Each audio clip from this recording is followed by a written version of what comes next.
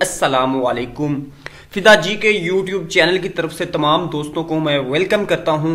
दोस्तों, जैसा कि पहले आपको चलान फॉर्म से रिलेटेड और उसके बाद आपके जो तहरीरी इम्तिहान से रिलेटेड और फ़ेज़ टू के शुरू से लेकर अब तक हर अपडेट बर वक्त और अथेंटिक वे में आपके साथ शेयर करता रहता हूँ। तो आज की इस वीडियो में जो आपका सबसे मोस्ट कॉमनली रिपीटेड क्वेश्चन है, वो है कि सलेबस क्या होगा? हम कौन सा सिलेबस प्रिपेयर करें कि हम इस टेस्ट में अच्छे या इस पेपर में अच्छे मार्क्स लेके पास हो जाएँ? तो ये डिटेल आपको साथ इसी वीडियो में शेयर करूँगा। आपने वीडियो को एंड तक कंप्लीट वॉच करना है और अगर चैनल पे न्यू है तो उसको सब्सक्राइब ज़रूर कर लेना है। तो दोस्तों, चलते हैं बगैर किसी देर के साथ आज की इस वीडियो की तरफ़।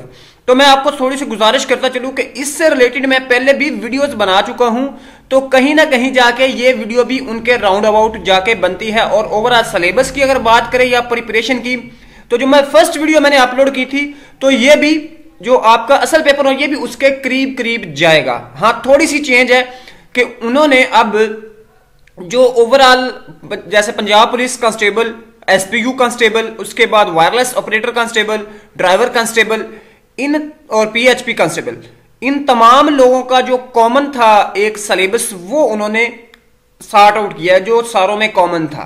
ठीक है?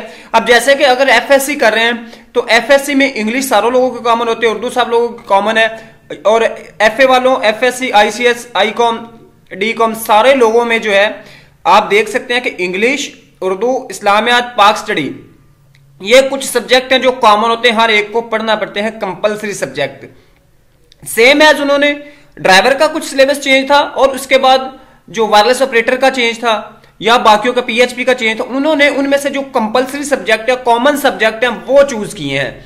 और उनमें से पेपर बनाएँगे क्योंकि तमाम लोगों का एक ही पेपर होने जा रहा है जिसमें वो लोग तो अटेम्प्ट करेंगे, यानी एक ही पेपर होगा।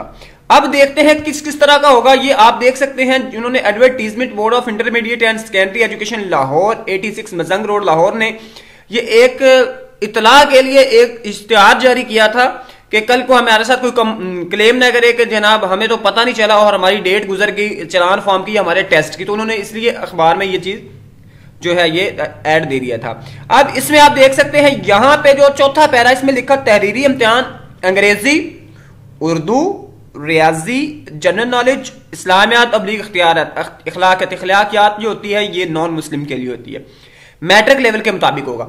आप देख सकते हैं कि उर्दू का हर पोर्शन, हर एक पेपर में आता है और उर्दू का जो होता है, ये उर्दू मीडियम में ही होता है। रियाजी है और उसके बाद जनरल नॉलेज और इस्लाम याद है अब इसके लिए अगर मैं आपको, उन्होंने कहा मैट्रिक लेवल की हो, अगर आप मैट्रिक लेवल की कर सकते हैं, उर्दू ग्रामर जो है, ये आप मैट्रिक लेवल की कर लें। बिल्कुल। लेकिन मैथ आप मैट्रिक लेवल की नहीं कर सकते। कम से कम एट क्लास की मैथ जो है, ये ज़रूर आप लोग कर लें यार ठीक है? उसके बाद गया जनरल नॉलेज जनरल नॉलेज में आप जो है पाक स्टडी को ज़रूर आप रीड आउट करें मैट्रिक लेवल की। अगर ए, वो नहीं कर सकते तो कम से कम एट क्लास की ज़रूर कर लें। उसके बाद इस्लामियात अखलाकत ये भी कम से कम नाइन टेंथ की आप ज़रूर करें या फिर एट क्लास की जो है इसको ज़रूर गो थ्रू करें। तो इस ये सारी चीज़ें जब आप करेंगे उसके बाद इंग्लिश ग्रामर और उर्दू ग्रामर जो है ये आप अगर मैट्रिक लेवल की नहीं कर सकते तो कम से कम मिडिल क्लास जो है इंटरमीडिएट एट क्लास है, इसकी उर्दू ग्रामर और इंग्लिश ग्रामर को ज़रूर आप गो थ्रू करें ताकि आपकी प्रिपरेशन अच्छी हो जाए। अब इसके अलावा कुछ कहते हैं कि हमारे पास बुक्स पढ़ी हैं कांस्टेबल गाइड बुक पढ़ी है, डोगर यूनिक वालों की, कारवा वालों की तो मैं आप लोगों को कहूँगा कि उस बुक को भी ज़रूर याद करें। क्योंकि उसमें पास पेपर दिए हुए हैं, उनमें आने वाले क्वेश्चन दिए हुए हैं। तो उनमें से मैं ये नहीं कहता कि सारा पेपर उसमें से आएगा या उसमें से पेपर बनेगा।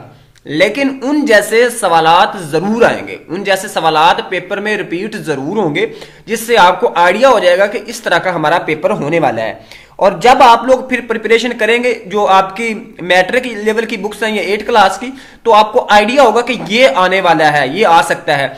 और हाँ अगर आप एक बी लाइन पढ़ते हैं तो वो इस वे में, इस कॉन्फिडेंस के साथ पढ़े कि इसमें से एक क्वेश्चन ज़रूर आएगा, यही लाइन हमारे एग्ज़ाम में आएगी। और इसके साथ साथ जो कुछ एक्स्ट्रा चीज़ें हैं, वो ये ऐसे ज़रूर आएगा। पॉसिबिलिटी है, जैसे पहले बताया गया है। अब ऐसे दस नंबर का भी हो सकता है, पंद्रह का भी, बीस का भी, जो चांसेस है वो है दस नंबर के। ठीक है? और इसमें उर्दू मीडियम भी हो सकता है इंग्लिश मीडियम इसलिए आप कॉमन कुछ आठ दस जो ऐसे हैं कॉमन ऐसे वो ज़रूर प्रिपेयर करें, ताकि आप लोग जो है बाद में उर्दू और इंग्लिश में अगर ऐसे आ जाता है तो आप मेरिट में टॉप पे चले जाएँ। आप उसमें रह ना जाए, ये ना पेपर पास कर ले, लेकिन आप मेरिट में ना आ सके। क्योंकि पंजाब पुलिस का जो मेरिट है, वो इसी बेस पे बनता है, जो आप रिटर्न टेस्ट के जो एग्ज़ाम है, इसमें आपके जितने मार्क्स रिटर्न टेस्ट में से होते हैं, उसके अकॉर्डिंग आपका मेरिट बनता है। तो उम्मीद है दोस्तों, ये वीडियो आपके लिए ज़रूर हेल्पफुल रही होगी। फिर भी अगर आपका कोई क्वेश्चन है कमेंट सेक्शन में या पर्सनल नंबर दिया गया, उस पर मैसेज करके आप पूछ सकते हैं। अल्लाह ताला हम सबका हामी नासिर हो।